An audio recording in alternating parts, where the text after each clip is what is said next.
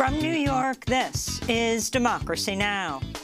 The demands are no eviction of the residents of Sheikh Jarrah, no demolishing of houses in Jerusalem, and prohibiting the eviction of Jerusalemites and asking them to demolish their homes. They should stop demolishing homes.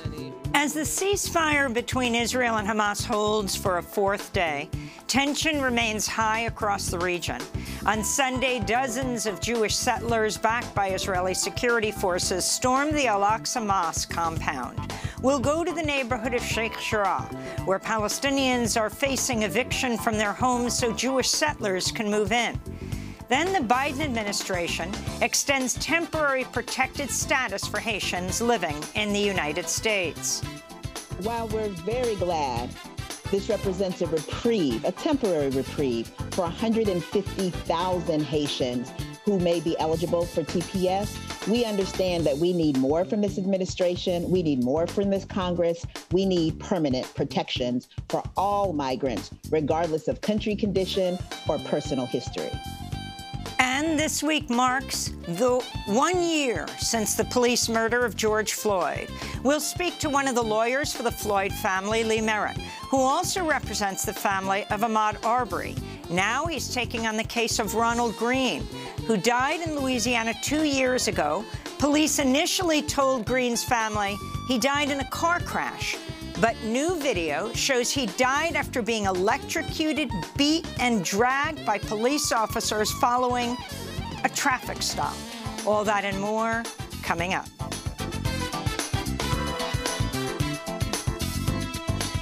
Welcome to Democracy Now!, democracynow.org, The Quarantine Report. I'm Amy Goodman. A ceasefire between Israel and Hamas continues to hold as Egyptian mediators try to maintain the relative calm that follows Israel's brutal 11-day assault on the Gaza Strip, which killed at least 248 Palestinians, including 66 children. But tensions in the region remained high over the weekend as Israeli forces and settlers entered the Al-Aqsa Mosque compound in occupied East Jerusalem multiple times since Friday, with local outlets reporting attacks on Palestinian worshippers. Gazans have begun to clean up the wreckage as they surveyed the devastating aftermath of the Israeli bombardment.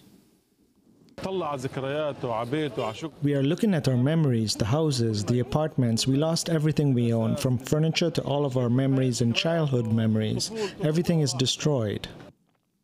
The UN said it's launching an aid appeal for the Gaza Strip, where fears are mounting COVID-19 could further spike after residents were forced to flee their homes and shelter together from the bombing.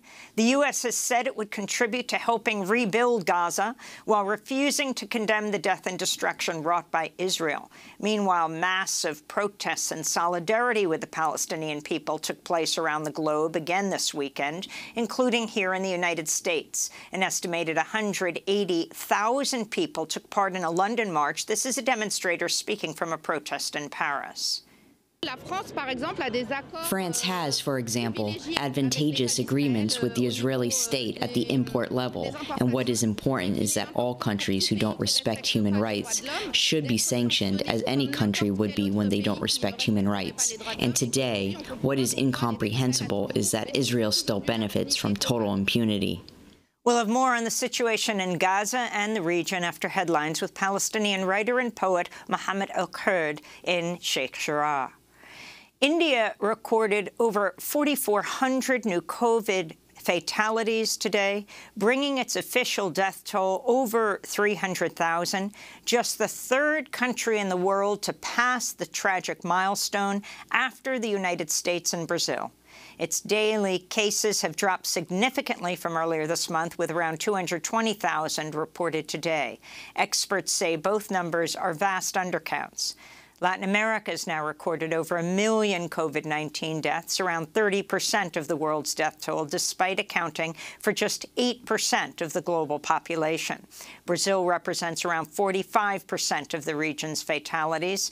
On Friday, the state of Maranhão issued a fine to far-right Brazilian President Jair Bolsonaro for refusing to respect local health rules by holding a mass gathering and not wearing a face mask. This all comes, as the World Health Organization said Friday, the true global death toll for COVID-19 is likely two to three times higher than official reports. Here in the United States, the seven-day rolling average of daily coronavirus cases has fallen below 30,000 for the first time since last June, with daily deaths also at a similar level to last summer. Hospitalizations are also way down. At least eight states, Rhode Island, Connecticut, Maine, Massachusetts, New Hampshire, New Jersey, Vermont, and Hawaii, have now given at least one COVID-19 vaccine dose to 70 percent of their adult population. Here in New York City, Mayor Bill de Blasio just announced schools will open in full in September with no remote option. The Biden administration's granting more than 100,000 Haitians in the U.S. the chance to gain temporary protected status, or TPS, which includes work permits and protection from deportation while Haiti suffers a political crisis.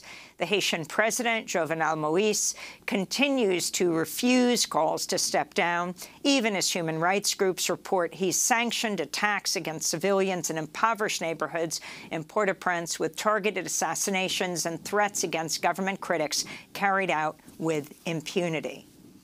President Biden deported more Haitians during his first two months than Donald Trump did in the last year of his presidency. We'll have more on the Biden administration's decision to grant TPS to Haitian immigrants later in the broadcast.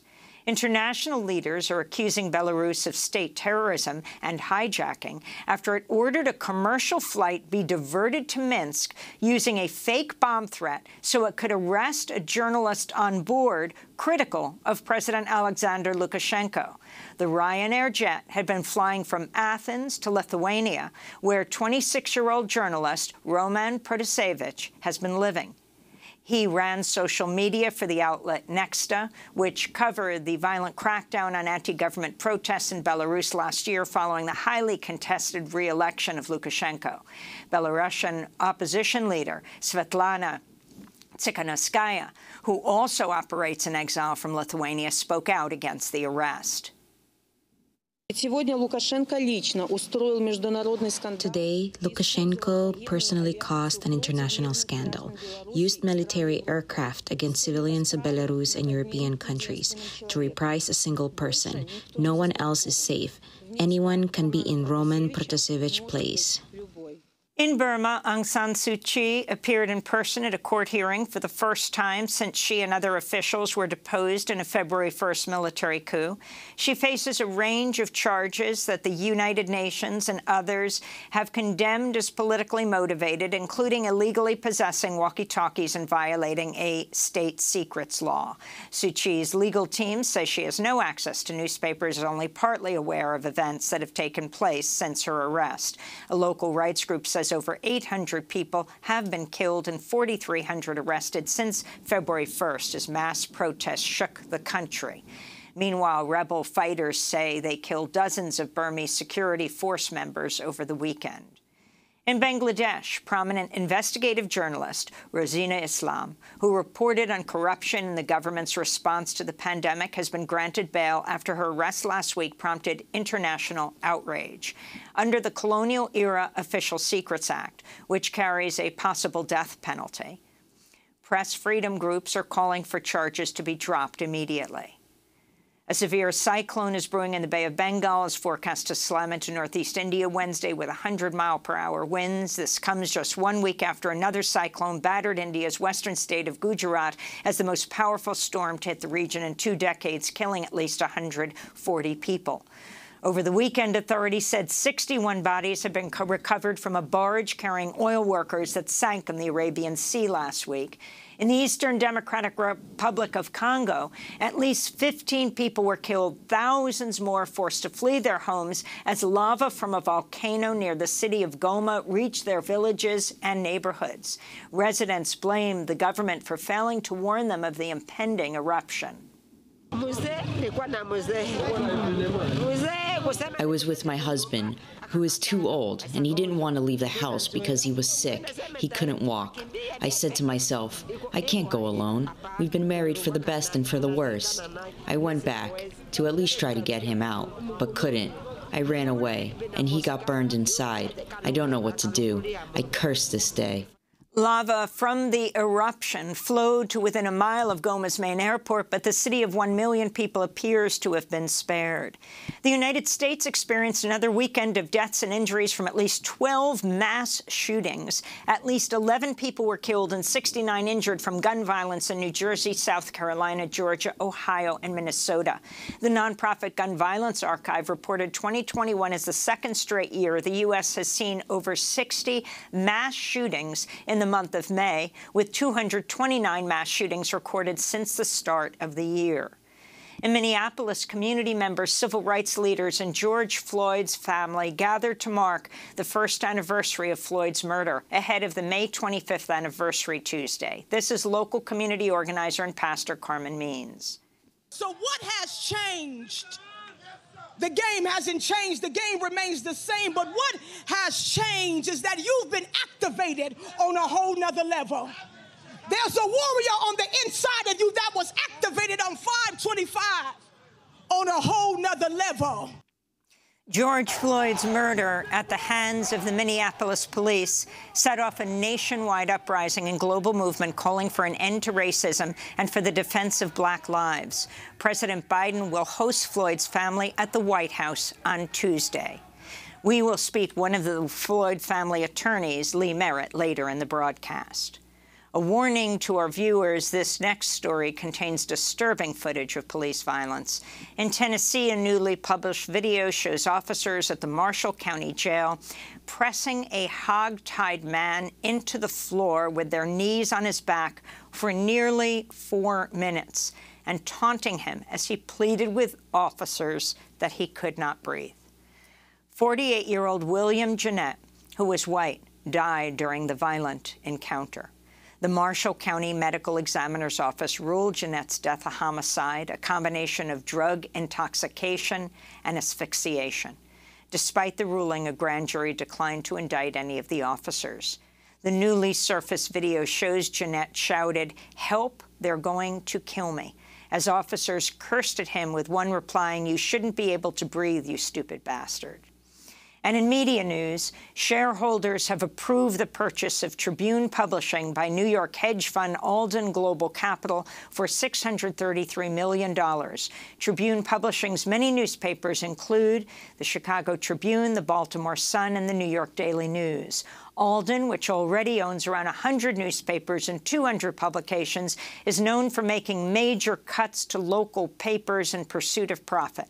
The outlet More Perfect Union reports Alden slashed the staff of the Denver Post by 75 percent and closed six newsrooms in 2020. About half of daily local newspaper circulation in the United States is now controlled by hedge funds. And those are some of the headlines. This is Democracy Now!, democracynow.org, the Quarantine Report. I'm Amy Goodman. The United Nations is appealing to the world to address the dire humanitarian situation in Gaza as a ceasefire between Israel and Hamas is holding for a fourth day. The 11-day Israeli assault on Gaza killed 248 Palestinians, including 66 children there.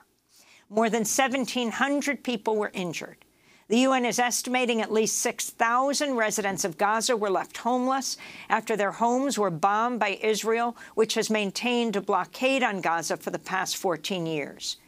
Meanwhile, tension remains high across the region. On Sunday, dozens of Jewish settlers backed by Israeli security forces stormed the Al-Aqsa Mosque compound, the third holiest site in Islam. On Friday, Israeli security forces fired stun guns and rubber bullets at Palestinians outside the mosque. Israeli prosecutors have also filed terrorism charges against three Jewish men who pulled a Palestinian man out of his car in the city of Bat Yam two weeks ago and viciously beat him. A police official said, quote, the three defendants engaged in inciting the mob before the victim arrived. They stole, looted from, and destroyed stores owned by Arabs. When they saw an Arab, they carried out an extremely merciless beating, unquote. Some initial press reports had mistakenly said the victim was Jewish. Meanwhile, in the East Jerusalem neighborhood of Sheikh Jarrah, Israeli uh, authorities are continuing their campaign to forcibly evict Palestinians from their homes so Jewish settlers can move in. We go now to Sheikh Jarrah, where we're joined by Mohammed El-Kurd. He's a Palestinian activist and poet who's organizing to save his family's home. His debut book, Rifqa, will be released by Haymarket Books later this year. Mohammed, welcome back to Democracy Now! Can you talk about the ceasefire now in its fourth day, what it means, and the wreckage in its wake? And then we'll talk about what's happening to you, your family, and the other residents of Sheikh Jarrah. Thank you. Thank you, Amy. It's good to be back. Uh, I think the ceasefire means a lot of things. First, it means that the resistance, the Palestinian resistance, um, be it grassroots or otherwise, has has been able to accomplish um, its own conditions, has been able to withstand a brutal nuclear superpower that is um, senseless, senselessly carpet bombing a strip where people, two million people, are besieged. But um, in its fourth day, we are seeing that the Israeli authorities did not respect the ceasefire conditions. Um, Al Aqsa Mosque has been invaded more than once. There has been a mass arrest campaign, and Sheikh Jarrah is still under an illegal blockade, and colonial violence is still business as usual um, in occupied Palestine at large. Explain in more detail what happened at the Al-Aqsa Mosque starting on Friday, and explain the significance of this mosque in Islam.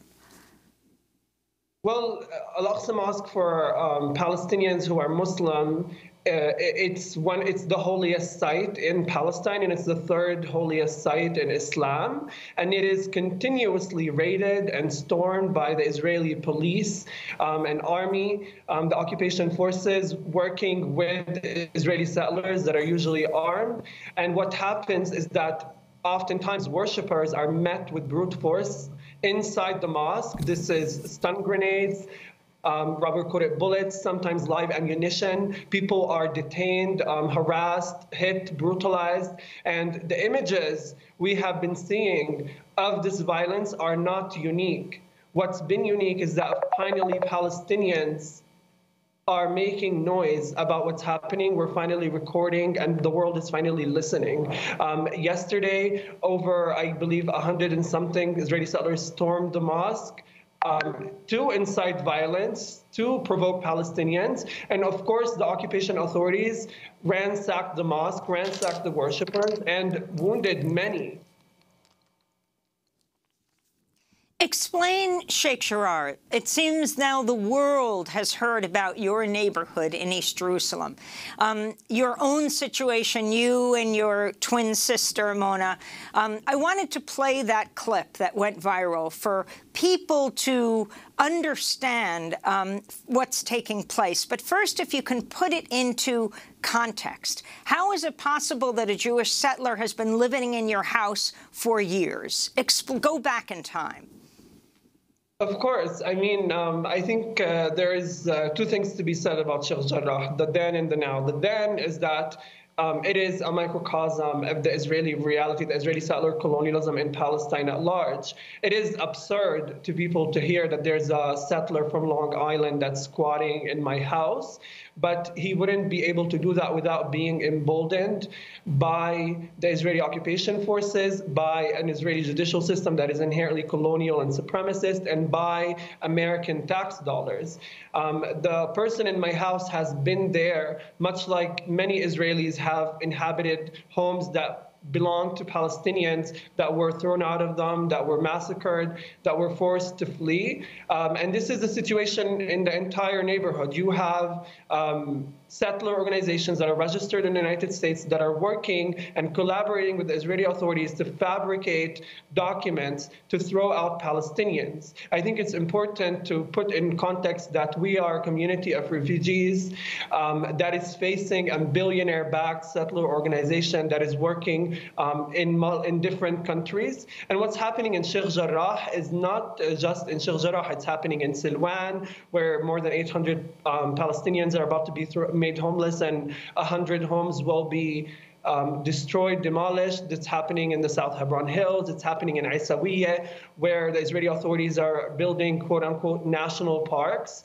um, to behave as colonial borders to prevent um, natural community growth in Palestinian communities. Um, there's many and a million ways in which Palestinians in Jerusalem are dispossessed, and sometimes it's a judicial system, sometimes it's artillery and weapons, and sometimes it's national parks. But it all behaves in the same way. I also want to just make a quick note that Sheikh Jarrah has been under an illegal blockade for the past three weeks. No Palestinians no Palestinians, not even medics, not even journalists, are allowed into the neighborhood except the people that live there. And even those of us who live there are still harassed and questioned and shoved around. I've been shoved around more times than I can count, and that's been the same reality for other people. This is all happening. The neighborhood is blockaded, um, barricaded with cement barriers. Meanwhile, Israeli settlers can just walk in, no questions asked, and oftentimes, if not most of the time, they are armed with their rifles or pistols pistols. So I want to go to that viral video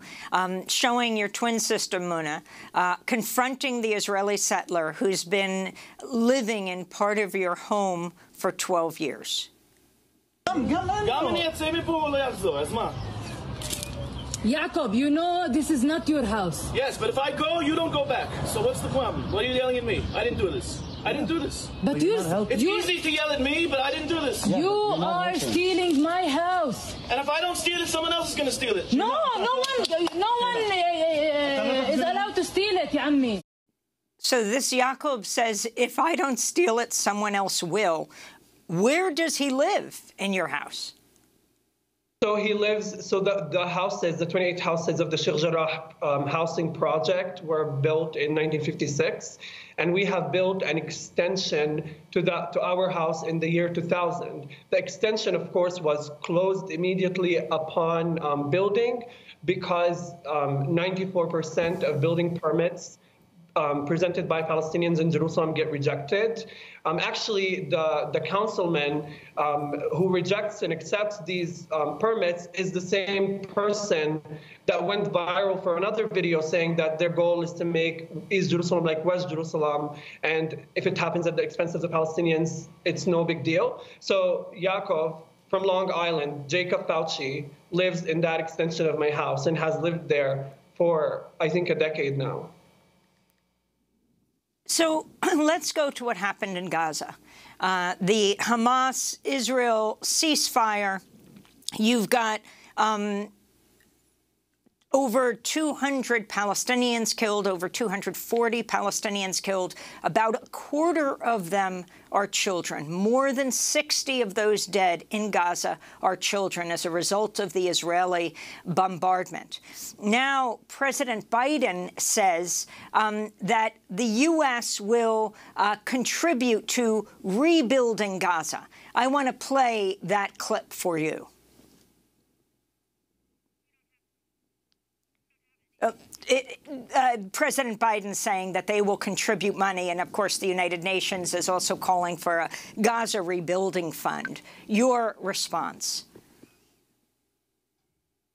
Um, I think uh, you know. I, I believe uh, there was a, there was a condition that uh, the resistance must be disarmed, and I just think it's uh, ridiculous that the United States, of all countries, would talk about disarming um, what they call terrorism when they have unleashed more terror onto the world than any other nation. And I think uh, if we're going to talk about disarming terrorism, I think Israel is a great place to start. Um, the world seeing uh, Gaza get carpet bombed um, was a great presentation. Of course, a, heart-wrenching uh, and terrible presentation, but nonetheless a good presentation that the Israeli um, myth of self-defense is more and more penetrable, that they're not really defending against anything. And those manipulations of language, those red herrings they throw in the way of Palestinian advocacy are not strong enough to contrast the images of them targeting densely populated civilian areas,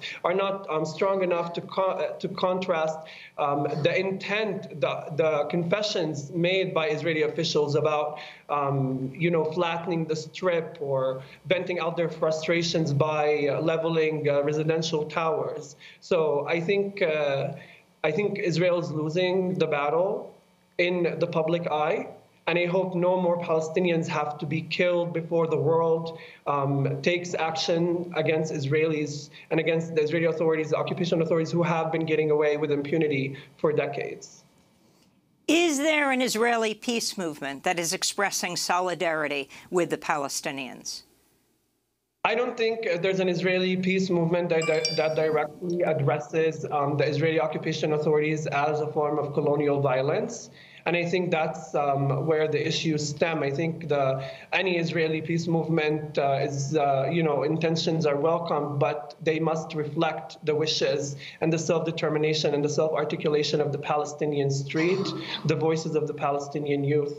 And I don't think, I don't think, I don't believe that's present nowadays the significance of the overall solidarity around the world, what that has meant for you. I mean, we just uh, played a clip of someone in London, something like 180,000 people protested. That was rather, yes, that was in Paris. Yes, Amy, that was um, the, the videos in London, in Paris, all over the world have been heartwarming to me as a Palestinian and uh, to many, many, many Palestinians to see this uh, huge, unprecedented shift in public opinion. And we know that it will have reverberations um, and accumulations in the coming future. We know that these protests were, are going to continue and um, be developed into actions and sanctions and boycotts and initiatives and letters. Um, and I ask the people who are protesting to continue doing so because um, we must be stubborn in the face of Israeli colonialism. Um, we're also already seeing punishment um, for these um, advocacy campaigns, for these protests. 1,400 Palestinians who hold Israeli citizenships have um, already been arrested in the past two weeks. Yesterday, the Israeli authorities um, announced a campaign of what they called law and order, where they will be arresting um, 500 more Palestinians to, and I quote, even the score. Of course, no Israelis that took part in the lynch mobs were arrested or will be arrested in that campaign. Um, to look at this mathematically, if you're arresting 500 Palestinians, that means you're terrorizing 500 families, 500 streets where you'll be ransacking, um, raiding people's homes, terrorizing them. This sends a clear message to us Palestinians who have been feeling a sense of national unity across historical Palestine.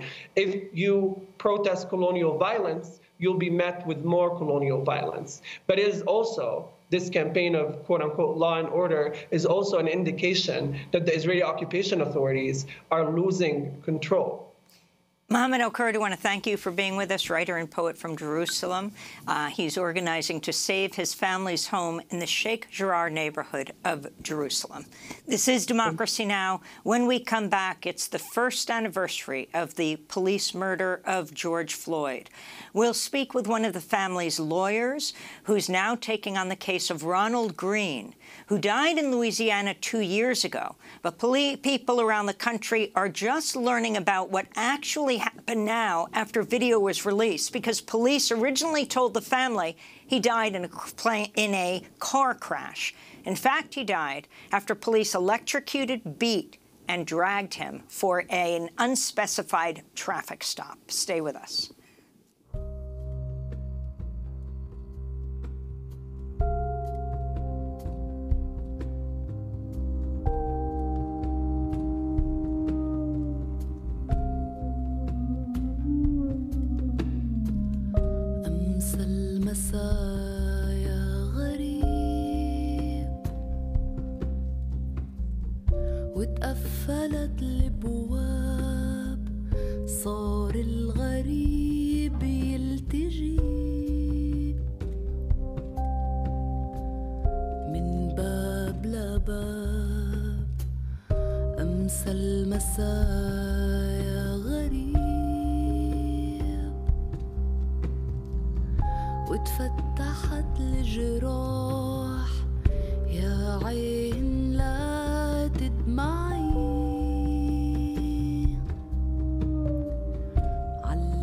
جفاني وراح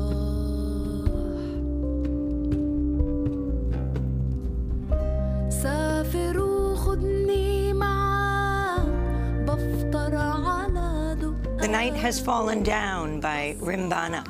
this is Democracy Now!, democracynow.org, the Quarantine Report. I'm Amy Goodman. We're going to turn now to what's taking place. Um, uh, a warning to our audience, this story contains disturbing footage of police violence. New body cam footage is raising more questions about the deadly arrest of a black man in Louisiana two years ago. It was May 10, 2019. The Associated Press first obtained video of Louisiana state troopers electrocuting, beating, and dragging Ronald Greene during a traffic stop after a high-speed chase in the city of Monroe.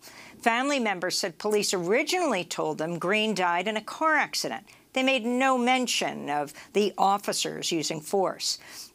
Well, last week, the Associated Press released portions of a 46-minute video that showed two troopers shocking Greene with a stun gun through his car window, then dragging him out of his car on the side of a dark rural road as Greene tells them, quote, Officer, I'm scared. I'm your brother. I'm scared. One of the officers puts Greene in a chokehold and punches him in the face, while another can be heard calling him a stupid MFer, using the full words. Greene was shocked again, tased again, while lying on the ground in handcuffs, and ordered to stay on his stomach as he desperately tried to roll over. Again, a warning to our viewers, this clip from the video is disturbing. Lay on your belly. Lay on your belly. Yes, sir. Okay, okay, sir. Lay on your belly. like I told you to. You understand? Yes, sir.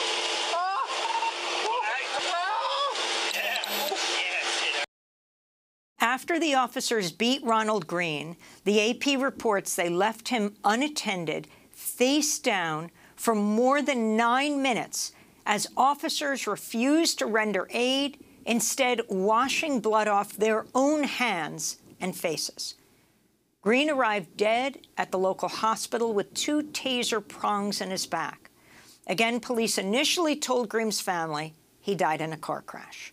A recently released coroner's report says his head injuries and the way he was restrained were factors in his death. Ronald Greene was 49 years old and worked as a barber. He'd recently gone into remission after battling cancer for two years and was reportedly on his way to meet his wife in Florida when he was stopped by the Louisiana State Police troopers.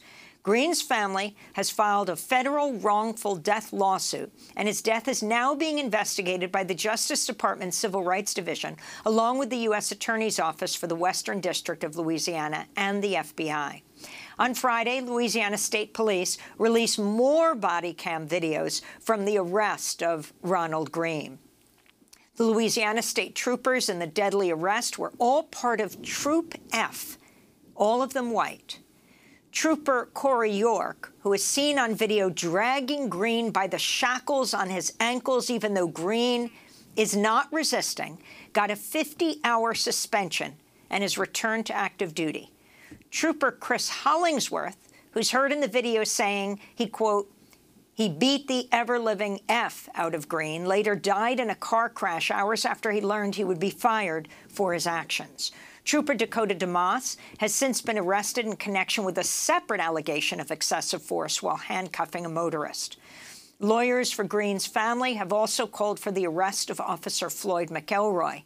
This is the mother of Ronald Greene, Mona Hardin, speaking to CNN.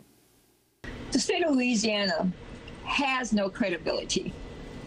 They're an organized crime ring that's gone on for hundreds and hundreds of years. You can see this time and time again. The burning of my son, you can you can just see it from very beginning to end. It implicates those who are on there and then some.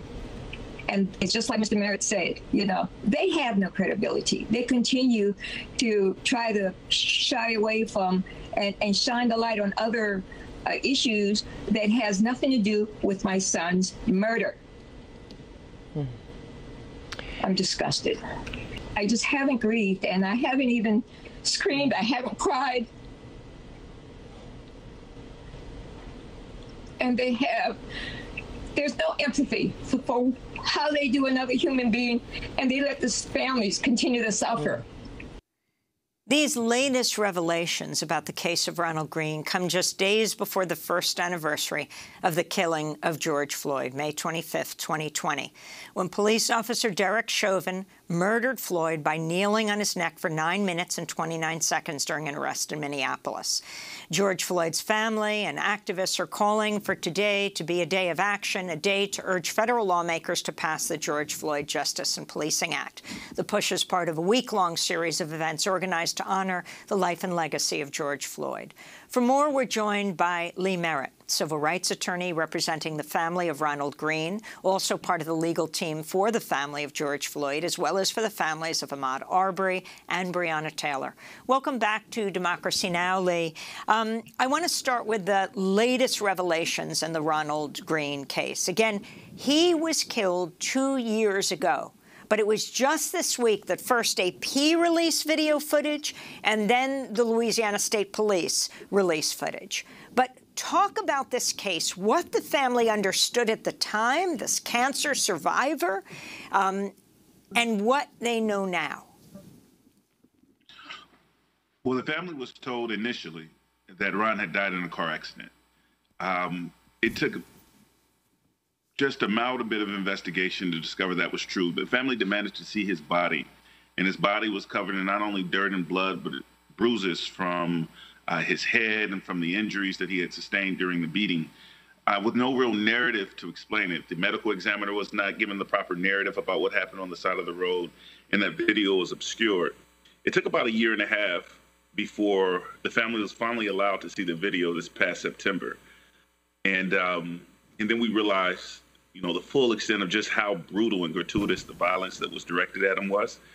Uh, but by that time, the Louisiana State Police apparatus had already meted out its punishment, which was a 50-hour suspension for one officer, Kory York, and one termination for uh, Chris Hollingsworth, who uh, went on to die in a single car accident uh, the same day he was terminated.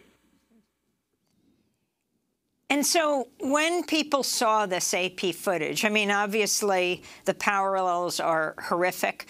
Um, talk about Troop F, um, the calling for its dismantling, this group that stopped him. I mean, they were they stopped him for an unspecified traffic uh, violation. He sped away. They went after him. And then when they got him, uh, he kept saying, I am afraid.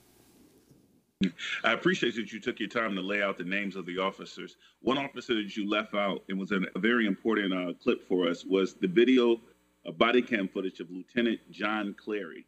He's the supervisor who came to the scene after these officers from Troop F, uh, specifically Kory York, Chris Hollingsworth, and Dakota DeMoss, uh, were uh, had already set upon um, Ronald and when Lieutenant Clary arrived to the scene, these men were still actively engaged in torturing a, then handcuffed and hogtied Ronald Greene.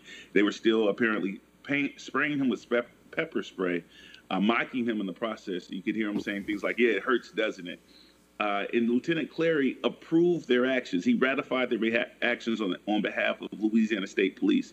It's so important that that supervisor came to the scene, observed everything that was going on, and gave everyone an attaboy because it reveals that this was, in fact, uh, not only the culture, but the de facto policy for the Louisiana State Police. And it's an open policy that we all know. When we're honest with ourselves, we know that when a black man runs from police in places like Louisiana, you can expect a, a, a gratuitous beatdown.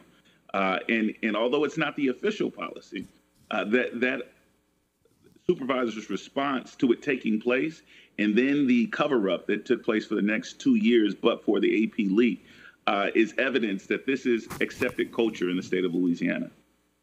So you're calling for the arrest of Kory York, John Clary, Dakota DeMoss? we're calling for those arrests. Uh, and we, we think that there should be both state and federal charges. The the Union Parish District Attorney, who was responsible for reviewing the case, he said he immediately observed that this was a criminal matter that should be referred to the U.S. Attorney's Office, and he was right. These were clear civil rights violations, constitutional violations from Ronald Greene, and um, not only by the officers on the scene, but by the uh, the cover-up, the the supervisors who who facilitated the behavior. But there still remains Louisiana state codes, Louisiana Constitution, and protections for citizens like Ronald Greene. Uh, and there must be accountability at a state level as well, not either or, but both. And so we're looking for criminal charges to move forward against these officers at the state level and at the federal level. Talk about your conversation with John Belton, the district attorney uh, for the 3rd Judicial District in Louisiana.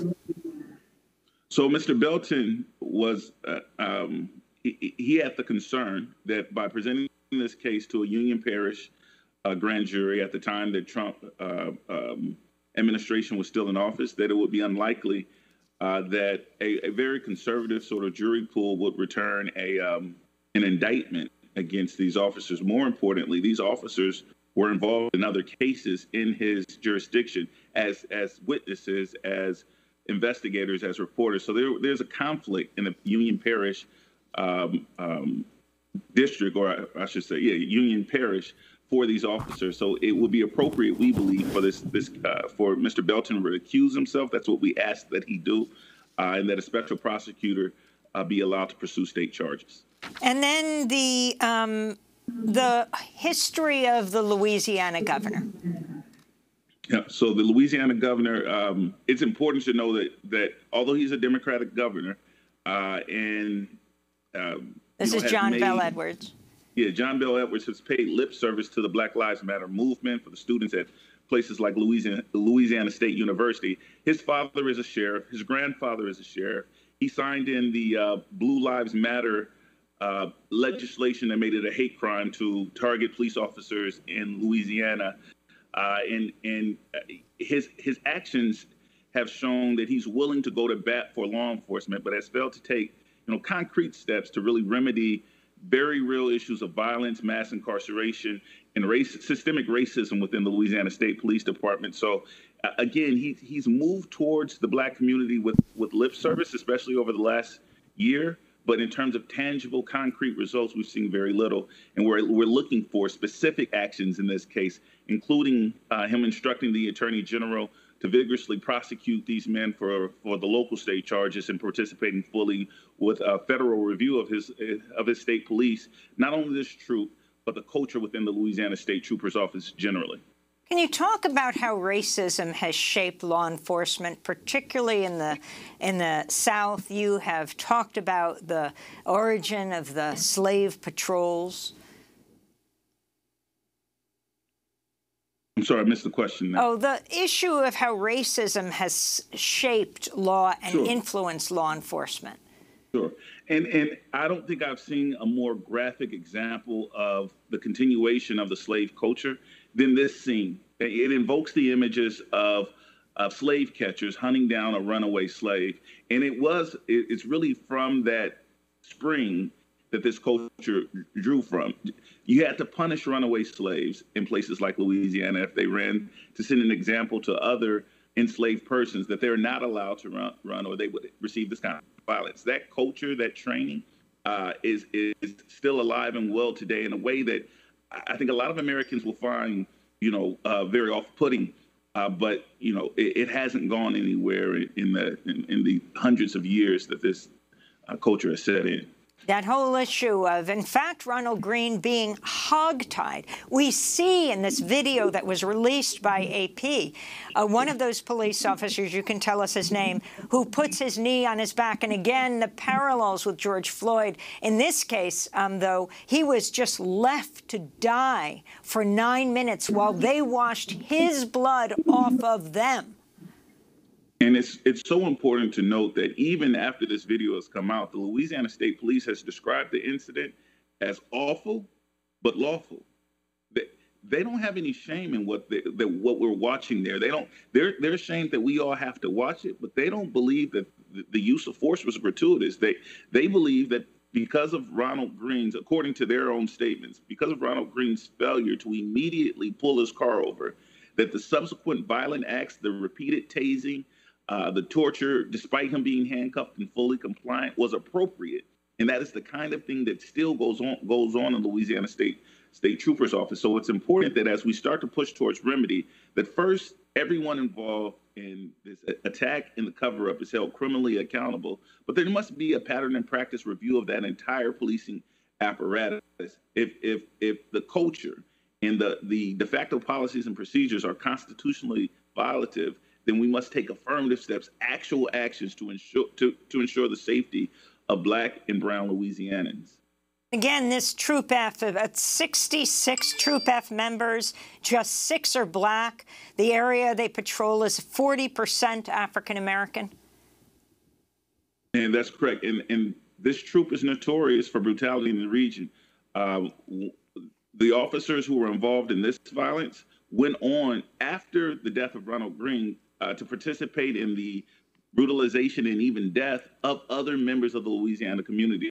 Uh, you, you, mentioned in your opening that one of the officers, uh, Dakota DeMoss, is facing criminal charges, but not as it relates to the murder of Ronald Greene or even the aggravated assault of Ronald Greene before a completely separate incident. That is also true of Chris Hollingsworth. Before he passed away, it was discovered that he had other incidents of violence attached to him that the leadership structure in Louisiana helped to cover up for. I think in the coming days and weeks, we're going to find a litany of violence and cover up and corruption within the Louisiana State Police Department. And it's, it's important that we don't turn our heads away. But the same way that the community focused on accountability for George Floyd, we need to uh, hone in and focus on accountability for Ronald Greene and the restructuring of the legal uh, law enforcement system in Louisiana. So you represent so many of these families. In Minneapolis last night, community members, civil rights leaders, George Floyd's families gathered to mark the first anniversary of his murder. Um, that The anniversary is actually Tuesday. This is local community organizer and pastor Carmen Means. So what has changed? The game hasn't changed. The game remains the same. But what has changed is that you've been activated on a whole nother level. There's a warrior on the inside of you that was activated on 525 on a level. So President Biden will host the Floyd family tomorrow on the anniversary at the White House. And this is the week, um, the deadline for the George Floyd Justice and Policing Act, supposedly originally the family demanding that it be passed by now. Um, you have New Jersey Senator Cory Booker said he believed it would. He's negotiating um, with Senator Scott of South Carolina. What is happening with this and the significance of this meeting at the White House tomorrow? On, on, behalf of the families that I represent, including George Floyd, Ahmaud Arbery, Ronald Greene, Jemel Roberson, Tatiana Jefferson, and so many more, uh, we've been in contact with uh, Cory Booker and, and invested in the uh, passing of the George Floyd Justice and Policing Act. Uh, we believe that a compromise bill that will take take some very radical and necessary steps, uh, a bill that that Democrats and Republicans should be proud of as a first step. Uh, will will be passed um, uh, relatively soon. However, it's it's so important that we emphasize that it is just one step to move the deadliest police culture in the modern world closer to, um, you know, uh, something that reflects a culture that appreciates human rights for all. Um, you know, there's so many more steps that need to be taken. Uh, but I, I, I, am proud of the work of, of Cory Booker and, and uh, the, the, United States Senate and uh, the Biden leadership in working with families to come up with some solutions, some immediate solutions. It's been far too long uh, before before we tackled this issue of American policing, and I, I think we'll, uh, it will be a relief that we're moving in the right direction a year after George Floyd's death. Apparently, the sticking point, um, Republicans uh, demanding um, that there not be qualified immunity for police. Explain this concept.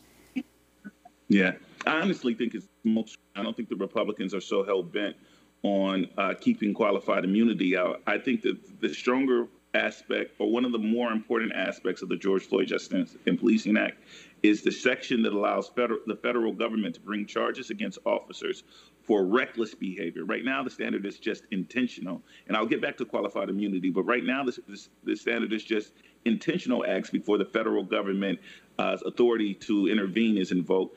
Uh, we wanted to expand. Part of the goal of the George Floyd Justice and Policing Act was to expand federal authority to hold police officers accountable, where states often fail.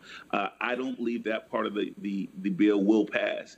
Uh, the compromise is, though, I, I, um, from my talks with uh, Mr. Booker and others working on, on this legislation, qualified immunity will, will end. And qualified immunity is an unnecessary shield uh, a judicially created shield for police officers uh, to avoid accountability, civil accountability, and um, moving the barrier of qualified immunity um, away from families so that they can hold municipalities accountable uh, for their, their policies and practices that are uh, are, are, violent and, and, and, detrimental to the black community is also a, a huge part into something that so many people gathered for, marched for, organized around, passed on a local level, and I think that we'll see it passed federally as well. Lee Merritt, we want to thank you for being with us, civil rights attorney representing the family of Ronald Greene, also the families of Ahmaud Arbery, who was out for a jog when he was killed, um, as well as uh, George Floyd.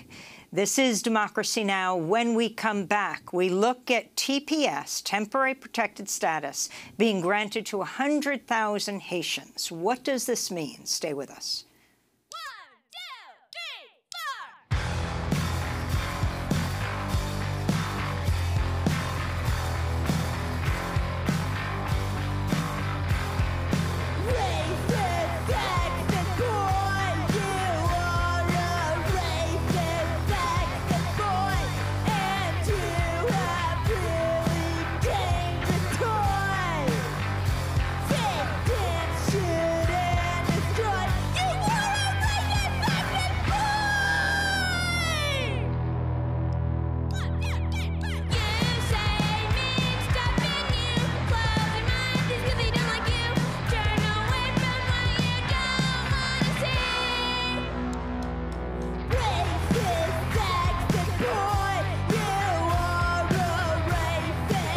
Sexist Boy by the Linda Lindas. This is Democracy Now! I'm Amy Goodman. We end today's show looking at the Biden administration's move to extend TPS, that's Temporary Protected Status, to more than 100,000 Haitians in the United States for the next 18 months.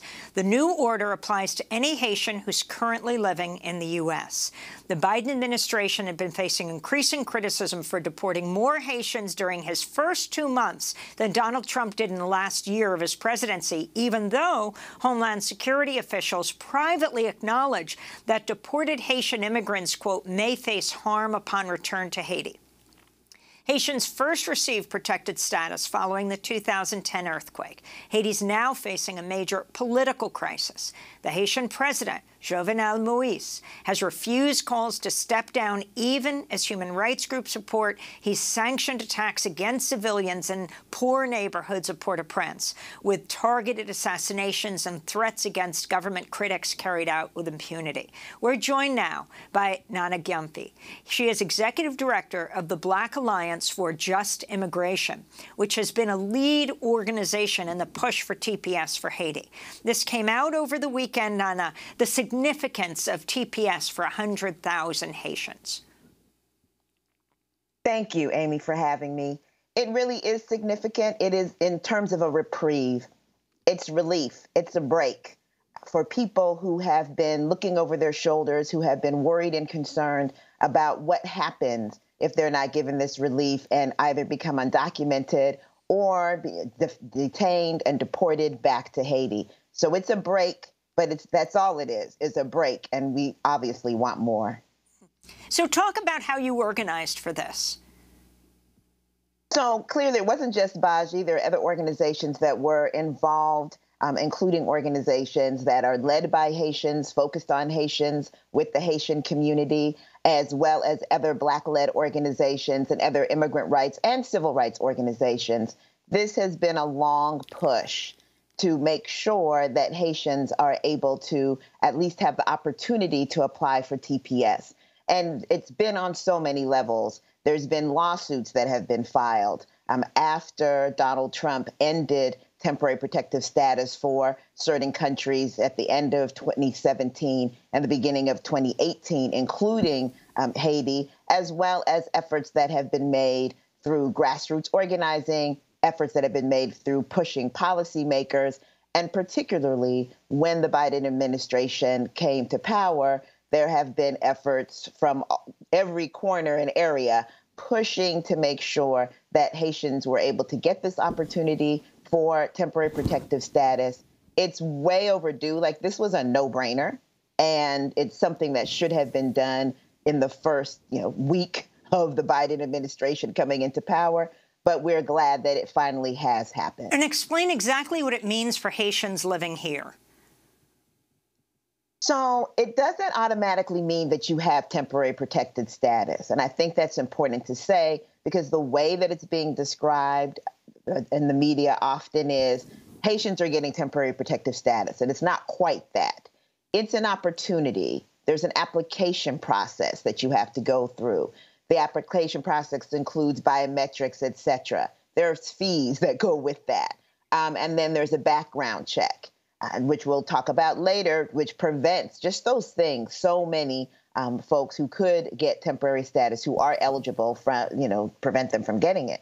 But for those who are able to go through those hoops and hurdles, if you are able to get TPS, then you are able to work here. You get a you know work authorization, and you are protected, most importantly, from detention and deportation. So, can you can TPS be made permanent? I mean, some people have been living here for over a decade. TPS can be made permanent, but not through the administration. Congress has the power to have folks who are right now protected by temporary protected status become permanent residents, become citizens, give some kind of pathway to permanent protections. And that's what, for example, the Dream and Promise Act um, Secure Act purports to do. The problem that we have as Baji is that there are criminal bars, criminal exclusions that prevent certain people with criminal histories from being able to get that protective status. When you look at who's being detained and deported from Haiti, not expelled from the border, but actually from the interior, over 80% of Haitians that are deported are deported on criminal grounds not because Haitians commit more crimes than anyone else, but for the same reasons that we see the disproportionate impact of criminalization on African Americans. We're immigrants, but we're black people um, as black immigrants. And Haitians are black people and are going to deal with the same uh, criminal sanctions and criminal bars that you find the African American community.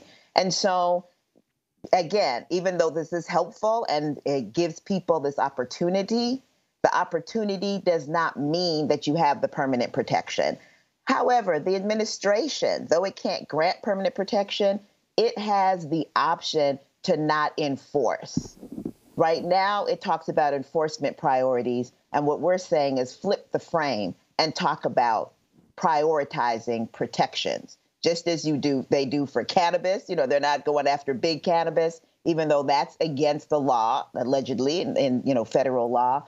They also can decide that they're not going to enforce with respect to immigrants. Um, and in the case specifically of Haitians that we're talking about now, they can make the decision to prioritize protection for Haitians and other black migrants and other migrants in this country. What other nationalities do you think should be getting TPS, temporary protected status now, Nana? Well, the ones that don't have it right now and that we think should be getting TPS include Cameroon, which, as you know and you've reported on, Amy, is in the middle of basically a civil war. Mauritania, um, where you have enslavement happening right now um, in the ways that it has happened, you know, continuously really for hundreds of years now. We have St. 10 Vincent seconds. and Grenadines, sorry, at Bahamas, Guinea, Sierra Leone, um, are also countries that we believe should be getting TPS. And do you believe that black immigrants are cracked down harder at the border? Absolutely. When you look at the expulsions, it's clear. As you pointed out in your opening, more Haitians have been expelled. under the Biden administration, but it's not just Haitians. It is people from all over the continent of Africa as well as the Caribbean. Nana Gyamfi, we want to thank you so much for being with us, Executive Director of the Black Alliance for Just Immigration, an issue we will certainly continue to cover. I'm Amy Goodman. Thanks for joining us.